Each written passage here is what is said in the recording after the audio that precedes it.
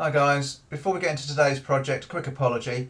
Sorry I haven't uploaded many videos recently, but as a lot of my long-standing subscribers will know, I've been suffering with uh, bad shoulders and wrists.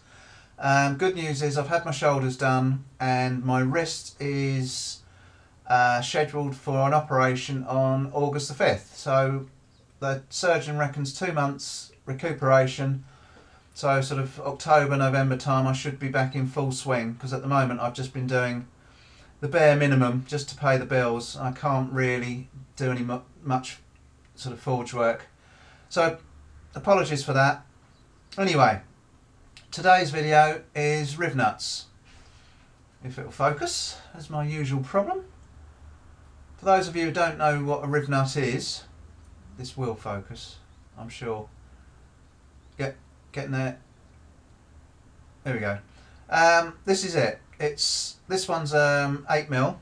As you can see, it's a sleeve that's threaded, um, but it's not threaded all the way up. It has a little tiny lip at the top, and the top sort of, I suppose, third isn't threaded, and it's actually um, a little bit thinner than the rest of it. And what you do, you put these in thin sheet and squeeze, squeeze them up like a rivet to give you something to bolt to.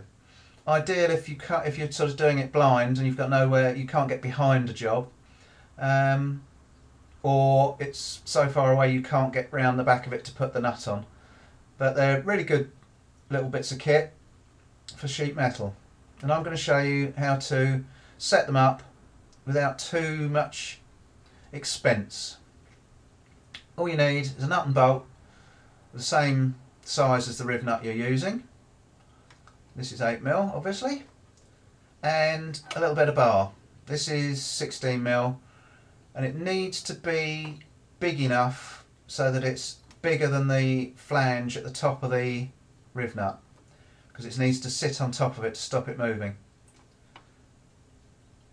So first job we've got to do is drill a hole in the end of this bar and I need to drill it 8 mil.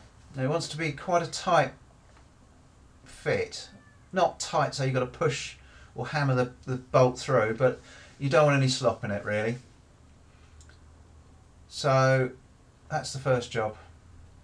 Let's get it stuck up in the lathe and we'll have a go. Sorry the angle of the film or the camera but uh, I can't really get to my lathe very easily. If you haven't got a lathe, you could do, easily do this um, on a drill press because you don't need an awful lot. So you could just cut a piece of bar off and drill a hole through it. I think ideally I'm going to use about, I don't know, three quarters of an inch of bar, something like that. So I'm just centering it first centre bit. Um, and as I was saying, the Rivnut tools for actually setting these can be quite expensive. You can buy some cheap cheap ones, but a proper Rivnut setting kit, the tool that sets them is, is blooming expensive. Which is fine if you're doing it all day long, you know, if it's your job, then it's worth buying the tool. But if you just want to set one or two like I'm doing, oh, lent on the automatic stop by mistake. Um, yeah, if you just want to do one or two like I'm doing, then this little tool is, is dead handy and pretty quick to make. So I'm now putting the, the 8mm hole through. So it doesn't need to be very deep. I want about three quarters of an inch.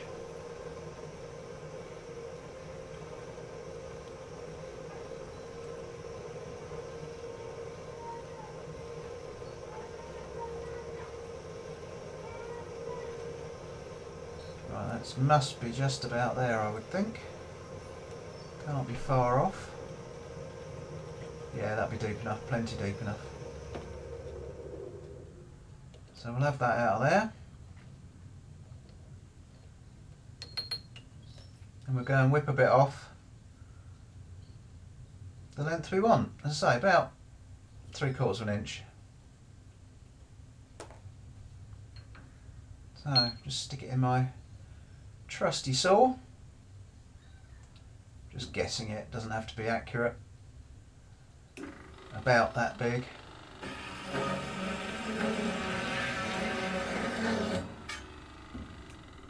Bob's your uncle. So there we go. Again, camera won't, there we go, focus. Just going to go and clean that up, take the burrs off it, make it nice and smooth. So, just want to take the uh, burrs off so it sits flat on the job.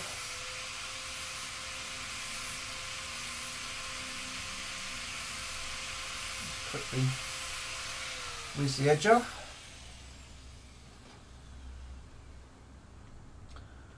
There you go. Nice hole in a little bit of bar. Simple as. So let's put it all together. The bolt, as you can see, is a nice, not tight, but there's not too much slop. You don't need, we don't want any slop, basically because the uh, that bit of bar has to sit right over the, the flange. I'm just going to put a hole in this bit of 8th angle iron. I'm going to use that as a demo because I haven't got anything that I actually need to riv nut at the moment.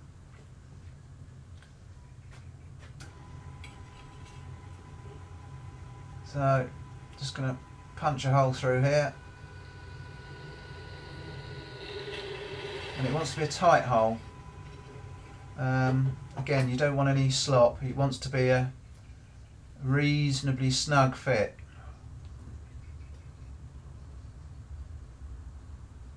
So, come on, focus, you darn camera.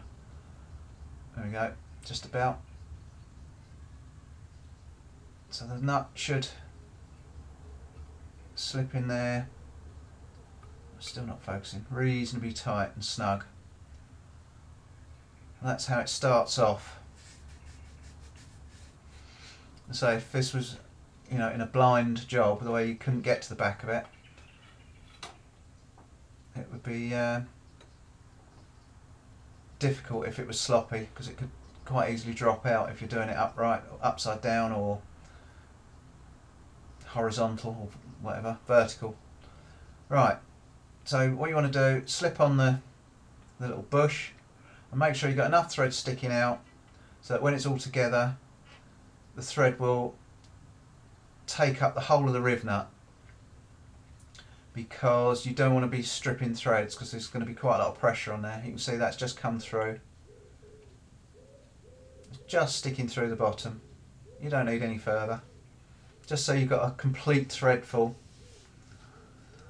Right, so let's see if we can see what's going to happen. A couple of spanners, using an adjustable because I haven't got two half inch spanners at the moment or 13 mil to hand so I'm going to hold the top with one spanner and then just tighten up the nut with the other that's all you do as you can see at the moment that riv nut is actually turning which it shouldn't. That's why you need a reasonably tight fit. So we've got to wiggle it about a bit so that it bites. Right, it's bitten now. You can see it's just starting to pull up. And it, there's a reasonable amount of pressure. So you've got to you've got to turn it fairly tightly. What I'm going to do, I'm just going to move the camera down so you can see really what's going on underneath. You can probably see a bit better now. And I tighten at the top, you can see that's pulling up. It's squidging up, deforming underneath the, the angle. And you'll know when you get to the end, because although you're pulling up and there's quite a bit of resistance, you'll get even more resistance, like when you're tightening up a nut and you get to the end, you know when you've got there. So you just want to go that far and then just a little nip. You see that's belled out there quite a lot, quite nicely. Should be nice and tight on there. So now you do, back off your lock nut and take out your bolt. And that's it. That's almost flush. Nice tight fit in there. And according to the manufacturers, if it's pulled up properly, it should actually be watertight. I don't quite know what application you'd use it for like that, but that's what they say. You can see it's belled out nicely at the bottom. So there you go. Um, you can get these in all sorts of different sizes. And then of course whatever you you know you want to bolt on, you just stick your bolt in. Bolt it down.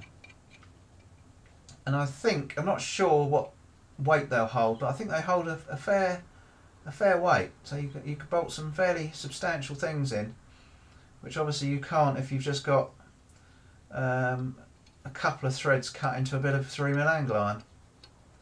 No way is it going to hold. Um, yeah, each one obviously is for different thicknesses.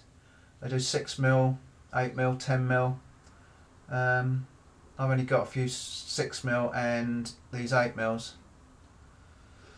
But there you go, that's how to do it, cheap and easy, if you've only got a few to do. So that's my tip for today and hopefully we'll be back onto the main videos in a couple of months time. So hang in there and we'll catch you on the next one.